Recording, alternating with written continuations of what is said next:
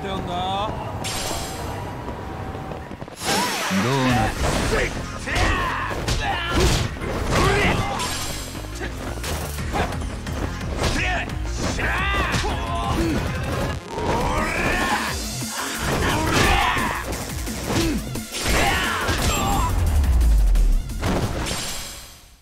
しばらく寝とけっての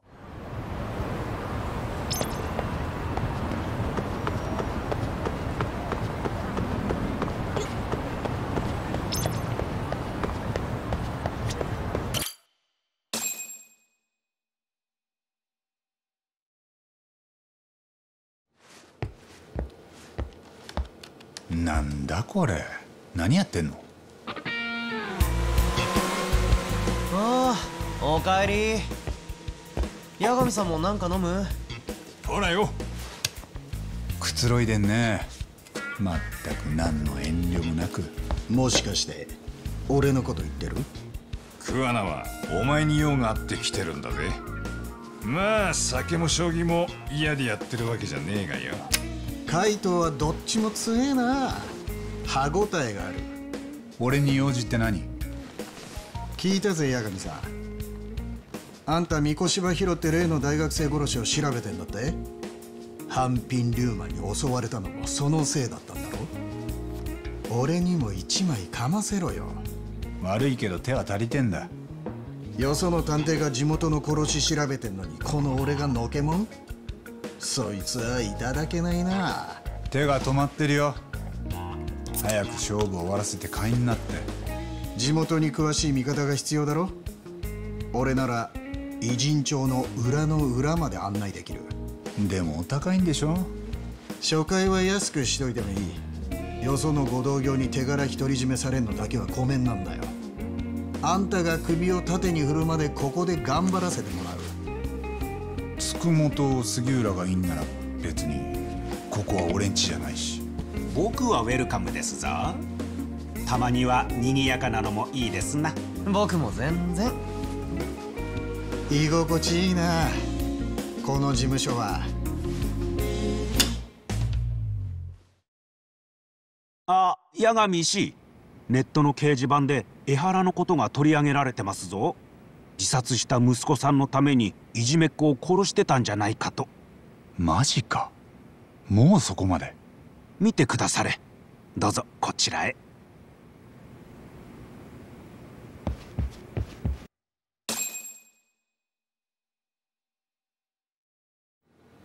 教育実習生は過去にいじめ自殺を引き起こした。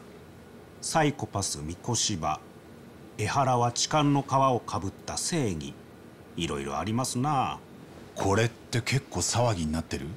今まさに誰かがこの話題に火をつけようとしてる。といったところでしょうか。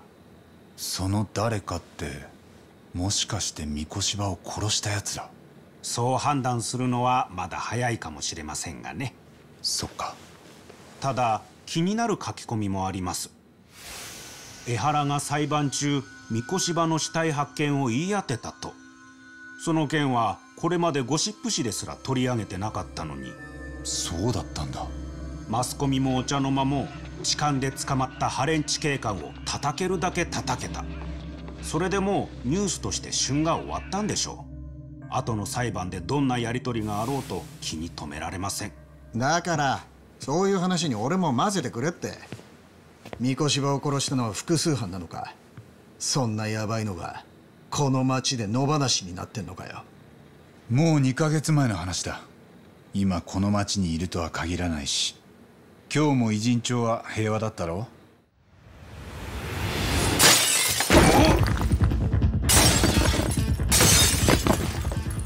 外からだ。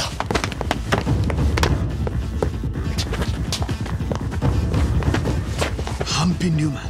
また白面だ。行くぞターボお先に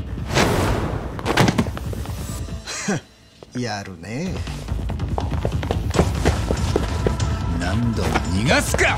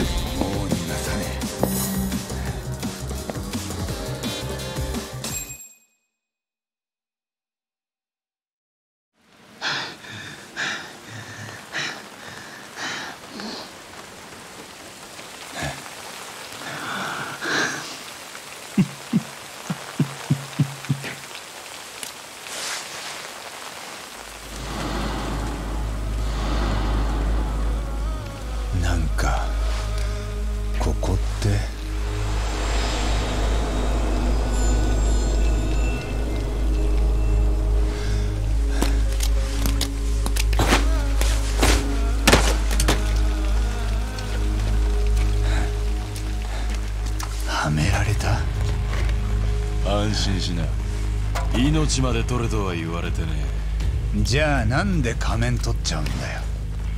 この先お前が偉人町に来ることは二度とないからだ。俺はテッソハンピン・リューマンじゃ幹部候補ってことになってる。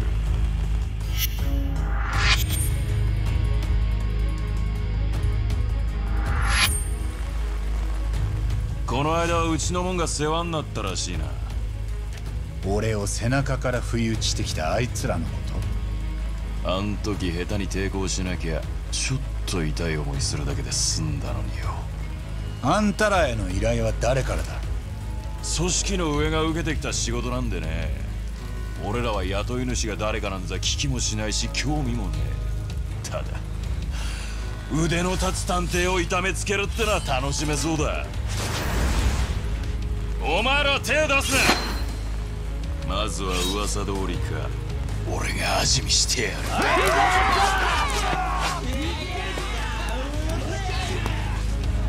楽しもうぜ。やがれせいや！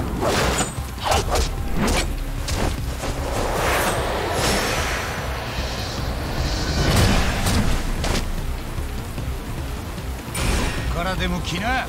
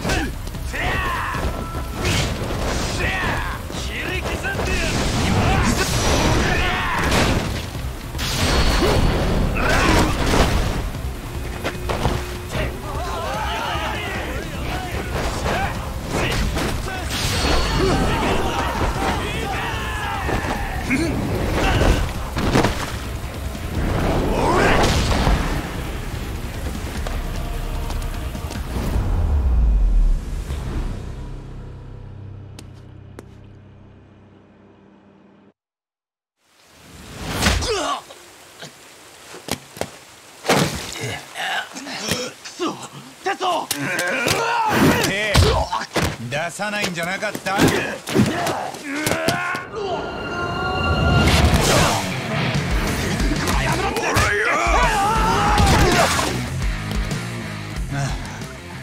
遅かったんじゃないの？海藤さん。ああすまねえ。こいつら結構手強くてな。おいいいから逃げるぞ。こんなところにいたら命がいくつあっても足りねでもさつくもんとこの窓は誰に弁償させんだ？ええ？いや。分かった。俺が払うから。早く逃げるぞ。ならオ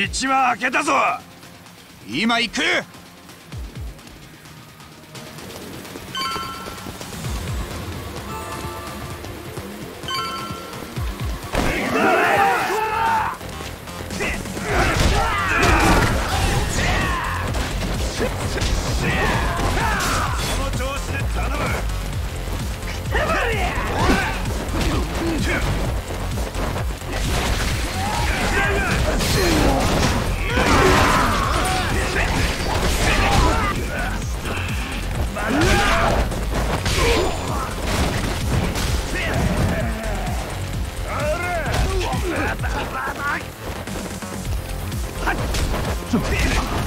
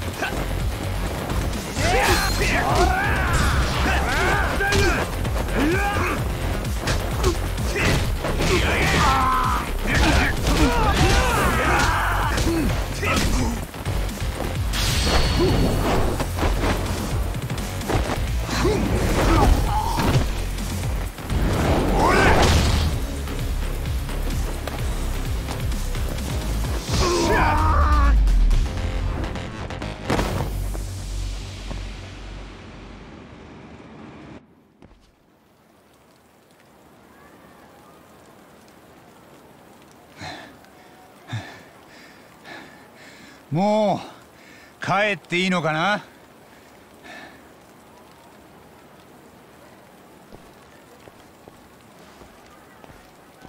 八神！ああ名前なんだっけ？テッソ？噂以上じゃねえか。この人数相手に大したもんだ。褒めてやるよ。どうも褒められついでにさあんたらの雇い主のこと教えてくんない？言ったろ。あいにくそんなもんには興味がない。じゃあせめて次また同じ依頼が来たら断ってくれよ。お前がこの町を出ていけば済むことだ。同じ依頼が来たらそん時は当然引き受ける。でも今日はもう行っていい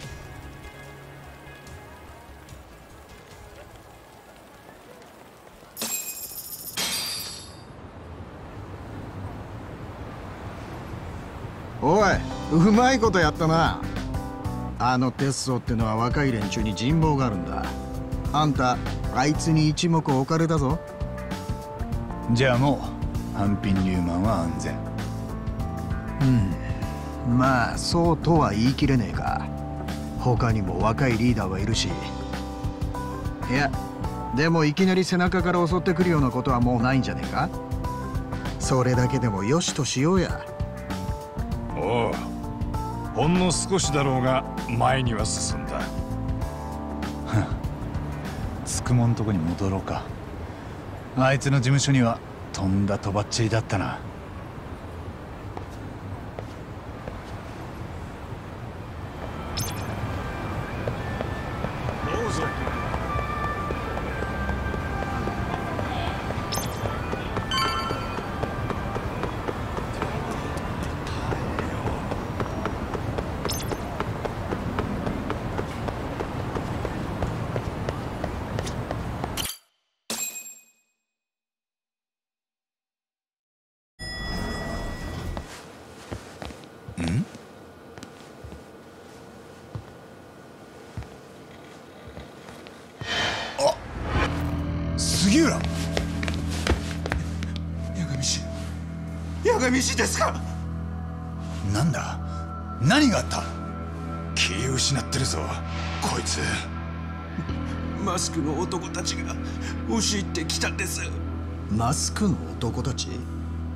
ハンピン・リューマンとは別のやつってことか。よくわかりませんでした。杉浦氏は何かバットのようなもので殴られて。僕は小指を。折られた。おい大丈夫か？今救急車を呼ぶ。奴らから八神氏に渡すように言われました。最後の警告だ。もう嗅ぎ回るなと。ずっと見られてたのか？くそ。狙うなら俺を狙えよ。多分さっきのハンピン・リューマンたちはおとりだ。俺らをこの事務所から引き離すためのな。まんまと引っかかっちまった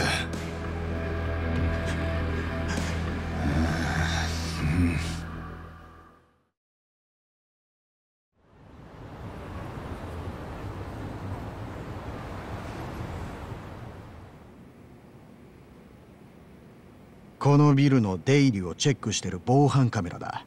見てみな。俺とカイドウが映る。さっきハンピン・リューマンを追いかけてく時だ。問題はその後。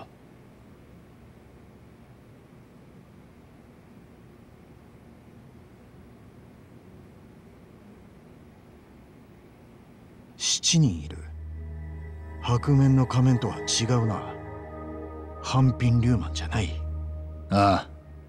こいつらは白面をおとりにして俺らをおびき出した。ってことはこれがハンピン・リューマンの匿名の雇い主だよ。三越柴広を殺したのもこいつらのはずだ。そして江原の一味。マジか。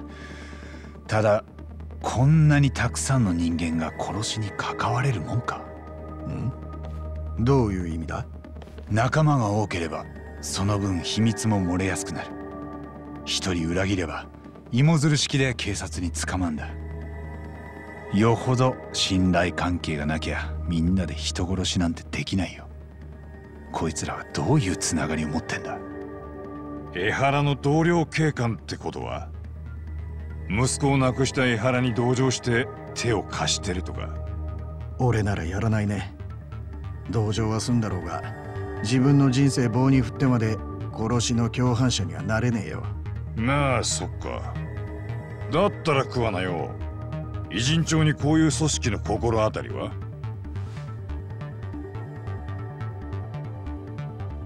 うんそんなにうまいの？その電子タバコ。危険な奴らってことでまず思い浮かぶのはハンピン・リューマンだ。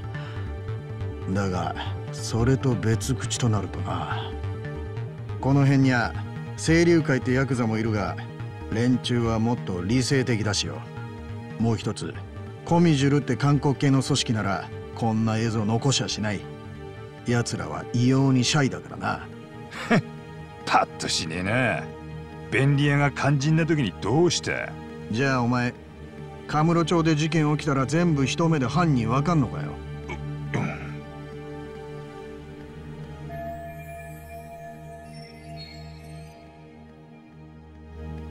この映像がやっとつかめた連中の尻尾だ。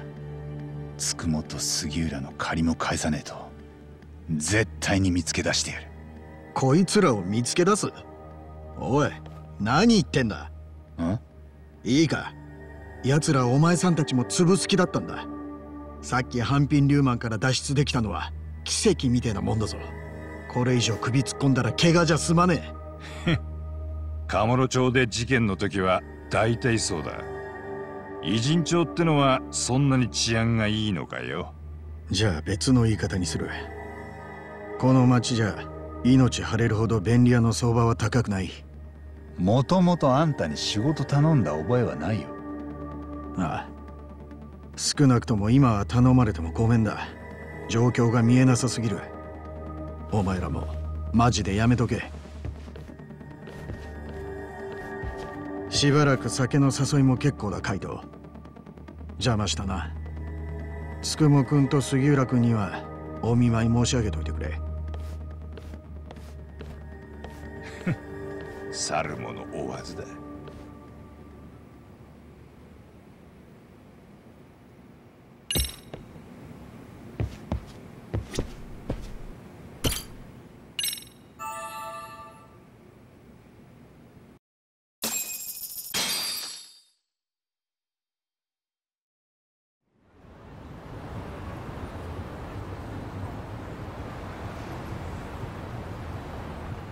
痛いのです。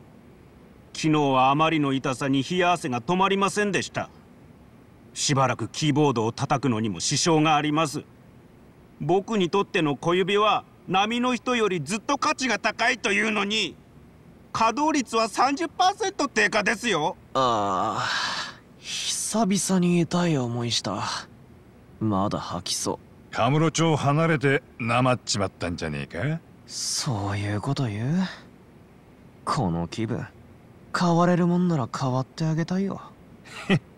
思ったよりは二人とも元気そうだ。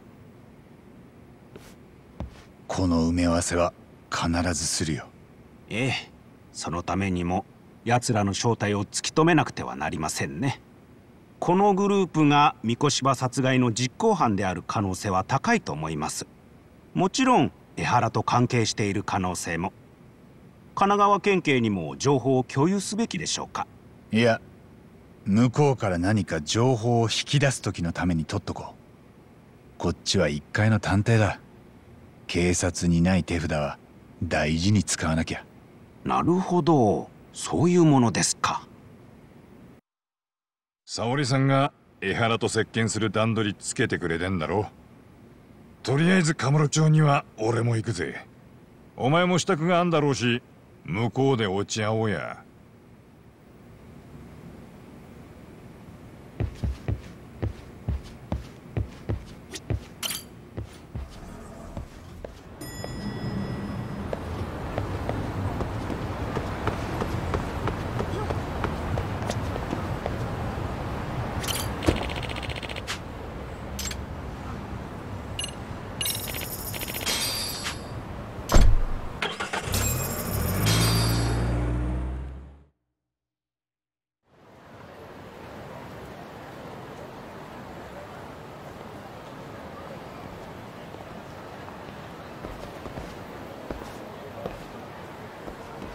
何海藤さん？どうかした？なんかさっきからいつもより街がざわついてる気がすんだよ。何それ？野生の勘ってやつ？そうかもな。まあいいや。よくわかんねえことをうだうだ言ってもしょうがねえ。じゃあとりあえず沙織さんとこに。江原と接見する前に軽く打ち合わせないと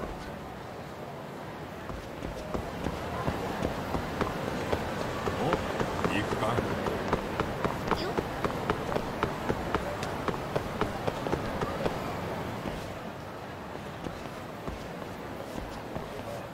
おうちょっと待ってたわ。ん？いつになくチンピラがチョコマが動いてるな。やっぱりなんかざわついてやがる。ざわついてる？そうかね。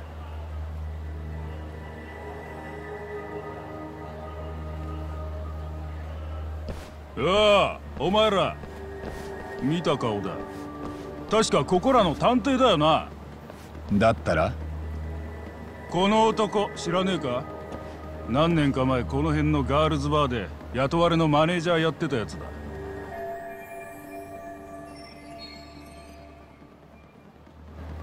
みんなしてその男を探してんのか？ずいぶん人借り出してるみてえじゃねえか。そうだよ。でこいつを知ってんのか？ああ待て待て。今思い出そうとしてるとこだ。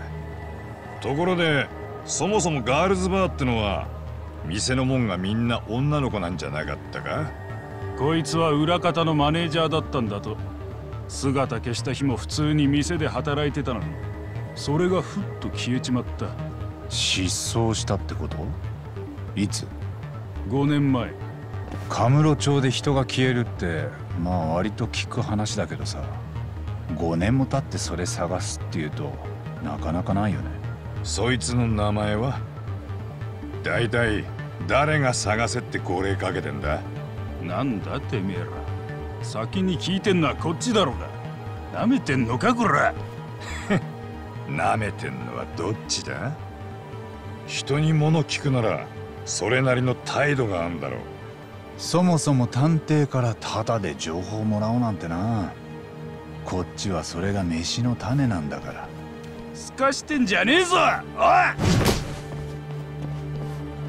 こんなすぐ手出しちゃってヤクザの方がまだ仇に気使ってたもんだよ。ざけんな！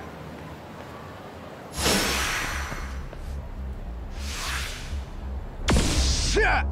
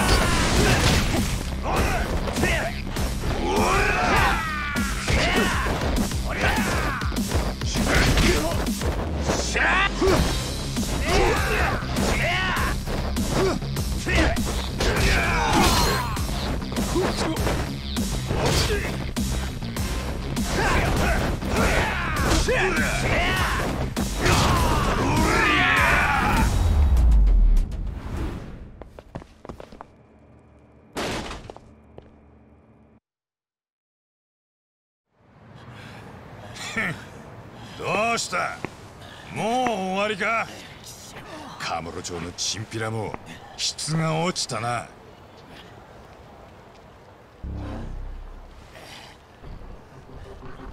カイトさん。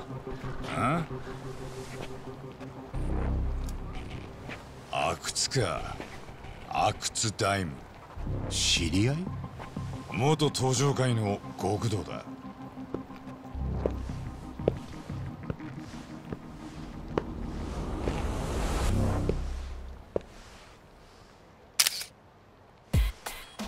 元極道ってのもいろいろだね。八神探偵事務所。いっさあんたらにも仕事くれてやるかな。依頼内容はもう聞いたろ？人を探してる。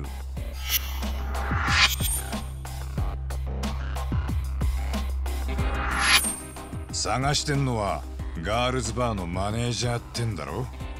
お前が温度取ってたわけか。いやこの件仕切ってんのは相馬だ。あいつが取ってきた仕事でな最初に見つけたやつにはたっぷり金が出る。今カムロ町中でレースになってんだよ。相馬って？RK って半グレのリーダーだ。そいつも元登場界で相馬和樹。登場界みんな半グレになっちゃってんのかよ。極道は縛りばっかきつくて上の席に空きが出ねえそのくせ上がりをよこせた大門のメンツだうるせえことばっかだ。なあカイト。なんだったらお前も一緒にこっち来るか？三下が慣れ慣れしい口聞くんじゃねえ。あとはあれだ。組織の仲間をやられりゃ返しをしなきゃならねえとかだ。本当はそんなもんどうでもいいんだ。その代わり気に入らねえ奴がいりゃただ後ろからこっそり刺しゃいい音も立てずにぶっすりといく。背中には気をつけんだぞ探偵。それが嫌なら俺らに気に入られるようにしな。次は警告なしだ。彼阿久津だっけ？登場界では報われてなかったのかな。ああ腕っぷしと度胸だけいいように使われた挙句。何もいい思いする前に組がなくなっちまった。相馬ってのも同じ。極道でなんとかのし上がろうと歯食いしばってたのが。結局組の解散で全部パーンなったわけだ。ふん。でその手の元ヤクザたちが半グレの有象無象を束ねようとしてるらしい。裏社会に RK ってネットワークを作ってる。RK なんかの頭文字？知らねえよ。ヤクザやめて。いきなり横文字になっちまった。登場界にとって変わるってほどじゃなさそうだけど。ああ。だがその分敷居が低くて手っ取り早く金が欲しかっただけの仇が RK に近づくとコロッと半グレに転んじまう。なるほどね。登場界といや最近東と会ってる？あああいつは元登場界の中じゃ救いのある方だ。組からゲーセン託されてそのオーナーに収まったからな。組にいた若いもんも働かせてやってる。お前もたまには顔見せてやれよ。いやあいつ俺が慣れ慣れしくすると嫌がるもんでさ。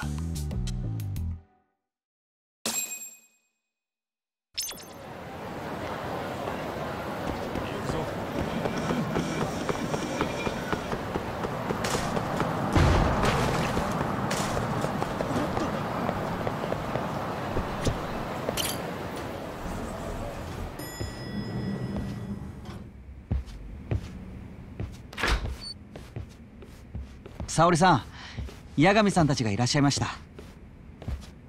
お待たせ。こっちの準備は整ったよ。そっちはどう沙織さん？ええお待ちしてました。江原との接見に向かいます。まずはとにかく彼がどこまで三越場殺害に関係しているかそれを探る必要があります。でもよ今までの状況からすると江原が協力的に話すとは思えんな。ええですから今日こちらから八神さんたちが出向くことは江原に知らせてません。不意をついた方がいいと思って。分かった。それでいいよ。では八神さん行きましょう。俺は一旦事務所に戻るぜ。江原と接見したらお前も帰ってこいや。年末くらいうちの事務所も片付けねえとな。まずは飲みかけのボトルを開けるとこからだ。あ行きますか？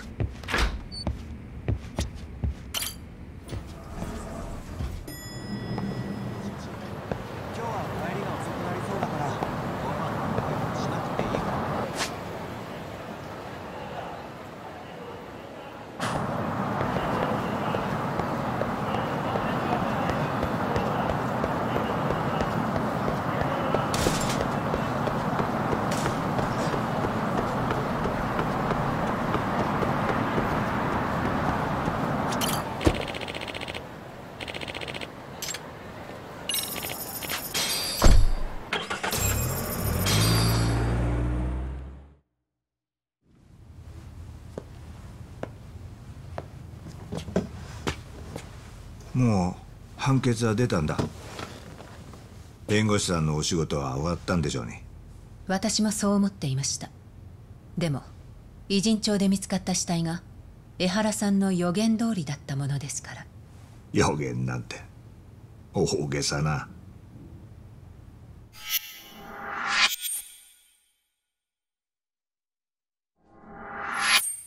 星野先生はクビにでもされましたか？八神と言います。以前は源田法律事務所にいました。今は星稜高校でミスケンの外部指導員っていうのをやってます。星稜高校？4年前に敏郎君が通ってたあの学校です。横浜の。たまたま別件で向こうにいたんですが急遽こちらの白崎先生から応援を頼まれました。なるほど。それで？今日いらした御用は？おとぼけはなしでお願いします。先日三越柴ヒロの遺体が偉人帳で見つかりました。問題はどうしてあなたがそれをご存知だったのか。さあ夢に見たんですよ。そうであったらいいなと思ったことを口にしただけです。どうしてそういう夢を見たんでしょうね。説明する必要がありますか？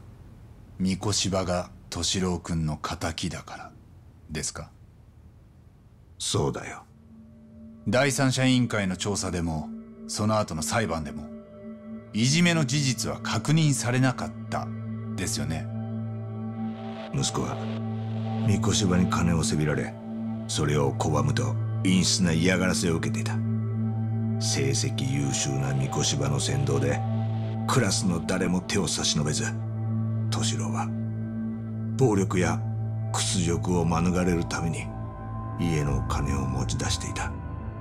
江原さんがそう確信しているのはなぜですか？その根拠は？そんなものがあれば学校との裁判に負けちゃいない。ところで私の罪状はただの痴漢だ。全部認める。満員電車で魔が差して OL の尻を触った控訴してあがくつもりもない。だからあんたら弁護人はもう用済みということだ。江原さん待ってください。そんな義理はないな。八神さん。三越柴弘の死に際はとてもむごたらしいものでした。恐怖と苦痛の中で殺され遺体は腐るまで放置されていました。大変結構だ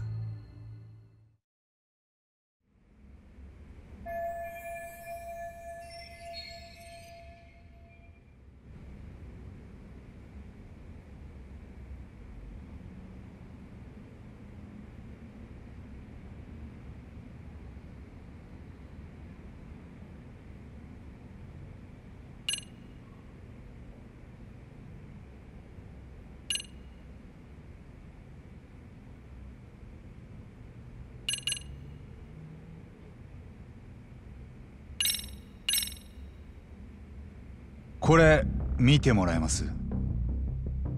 三越場だな。いい表情してる。しかしあんたはどこからこんな写真を？星稜高校の沢先生にもらったんです。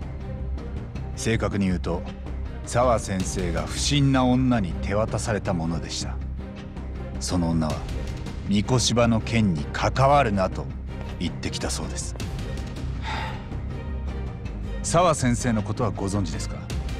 彼女は4年前敏郎君が亡くなった時にも星稜高校で教えてたんです。ああ裁判で証言しているのを見たよ。敏郎へのいじめはなかったと。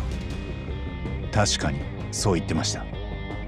いじめを隠蔽した教師たち学校弁護士。彼らのことも殺してやりたいほど憎いと思ったでもやはり一番悪いのは三越場だ。制裁を加えられるべき筆頭だ。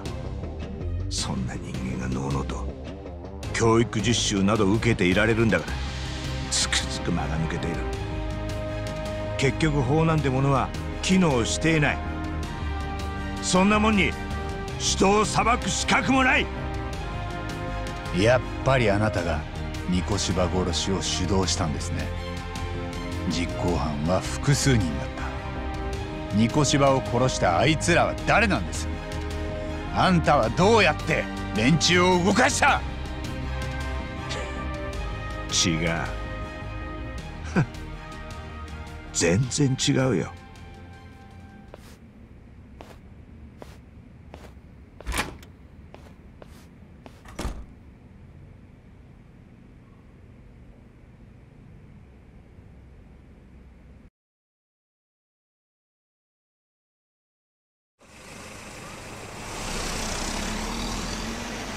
石鹸の印象として江原はやはり黒ですね。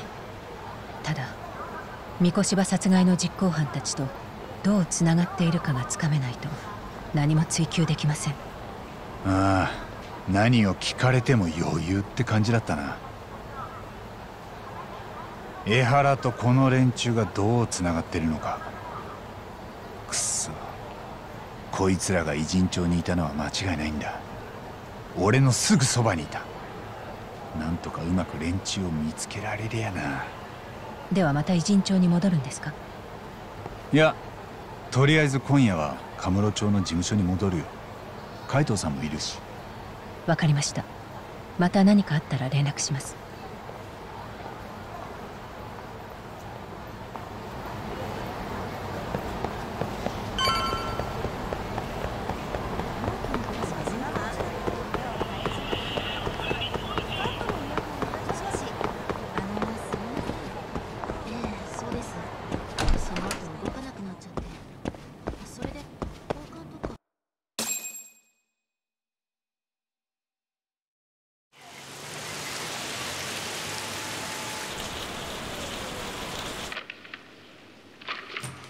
海藤さん戻ったよ。海藤さん？おお前つくもからのメール見たか？え？いやついさっきだ。とにかくこれ見てみろよ。何さ？どういうこと？殺人動画だ。三越島が殺された時の動画がネットに出回り出したって知らせがあった。お願いします許してくださいこれ以上はもう敏郎君のことはこの先一生謝りません償いません大したことしてないんですよ。自殺するなんて思わなかった。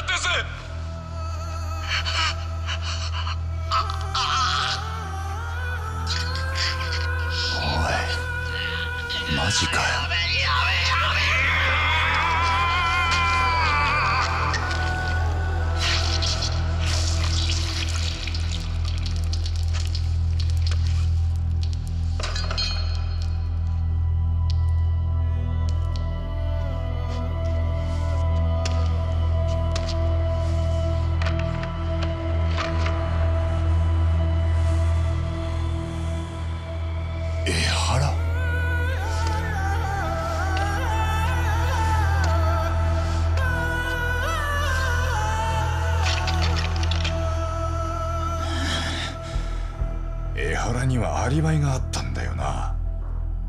だから自分の手で三越柴を殺すことはできないはずだった。